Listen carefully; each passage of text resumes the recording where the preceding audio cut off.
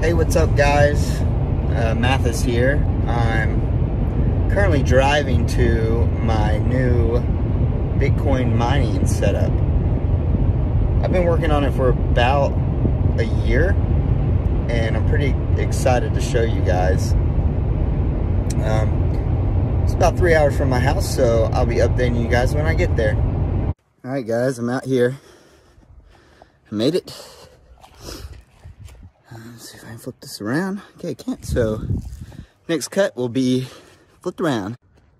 All right, so it looks a little ghetto, but we're pulling it together. What we got here are 35 kilowatt each natural gas generators.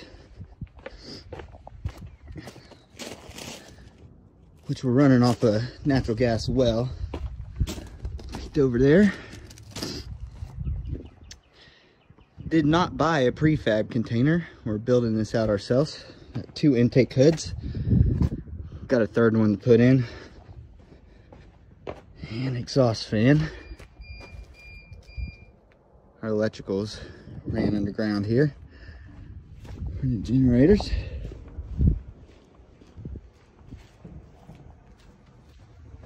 Inside the container, we have panels corresponding to our left and right generators outside.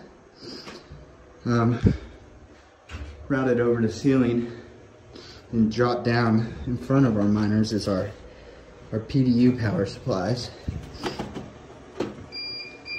So each left generator, right generator. Got our networking, remote PC, and we've got some miners here. Looking to expand, of course. We haven't even maxed out one of the generators. Here's the exhaust fan. Right now, it's just a weed barrier in front of these. Looks a little ghetto. We're working on something to fit these types of filters. It does get a little dusty in here. It's kind of my main priority before pollen drops. Get the third one up in there and our, our filters situated.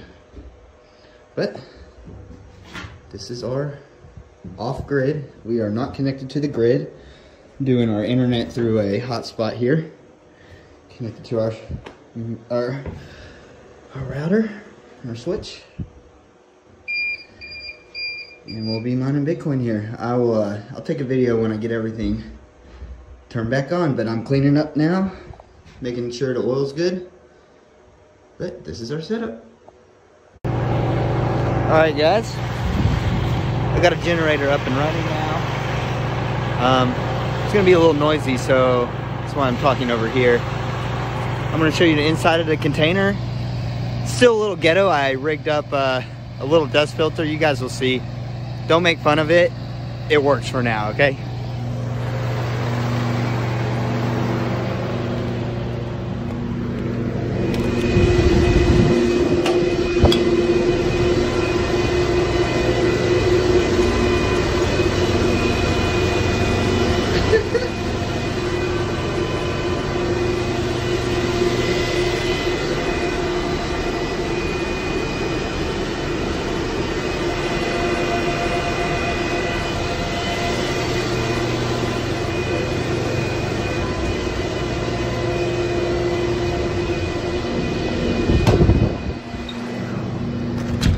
That one's got a red light.